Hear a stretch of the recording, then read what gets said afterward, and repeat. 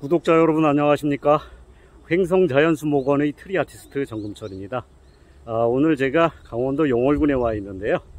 아, 제가 그 나무사랑 연구회에 어, 서울 경기 강원 지부가 있습니다. 아, 그 지부의 지부장을 맡고 있는데요. 어, 오늘 그 강원도 영월군에 있는 그 미림농원이라는 어, 묘목장과 이제 완성목까지 키우시는데요. 묘목부터 약 한 15,000평의 농장을 규모를 가지고 있습니다. 예, 여기서 지금 모임이 있습니다. 그래서 이제 회원님들을 모시고 어, 정기총회를 하고 있습니다. 이 상반기. 그래서 지금 제가 묘목장을 한번 소개해 보고자 하는데요. 같이 한번 감상해 보실까요? 자, 지금 이 녀석들이 묘목들이 여기 묘목장이 어, 저 뒤에는 이제 자작나무고요. 이렇게 묘목들이 쭉 자라고 있습니다. 주로 이제 스잣이네요. 스잣과 뭐 이제 어, 주목 여러 가지 그 수종들을 무궁화부터 시작해서 측백류까지 어, 다양한 수종 약 한 100여 종의 수종을 보유하고 계십니다. 그래서 묘목 생산을 해서 판매도 하시고 어 그리고 이제 완성목들 어, 주로 이제 교목이나 어, 교목이라고 봐야 되겠죠. 교목들을 생산하셔서 판매를 하는데 농장 규모가 굉장히 큽니다. 어, 15,000평 정도 규모를 그 두 내외 분께서 어, 키우고 계시는데요. 어, 여러분들이 지금 창고가 됐으면 해서 한번 소개를 해 봅니다. 이렇게 이 묘목을 이렇게 주목이네요. 아 이건 전나무군요. 어, 전나무를 전나무 묘목을 키우고 계시는데 강원도는 전나무 재배를 많이 하죠.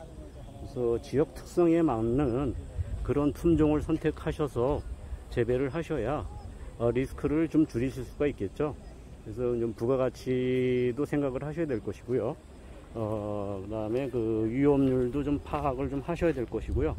지역 환경에 맞는 품종을 선택하셔야 어, 제대로 된 그 농사를 지으실 수가 있을 것 같습니다.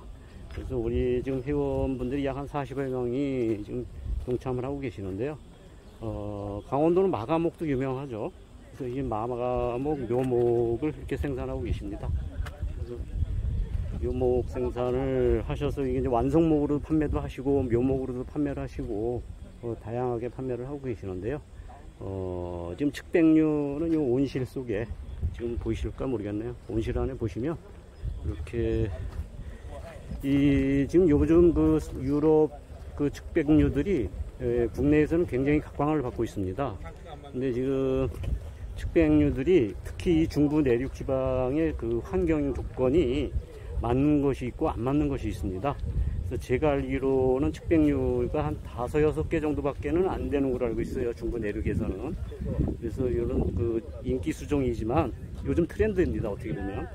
어, 트렌드라고 해서 무조건 따라갈 것이 아니라 가급적이면 주변 환경, 농장 환경에 맞는지 그리고 주변에 그 기후 조건이 맞는지 이런 것들을 파악을 하셔서 식재를 하셔야 어, 후회를 하지 않습니다.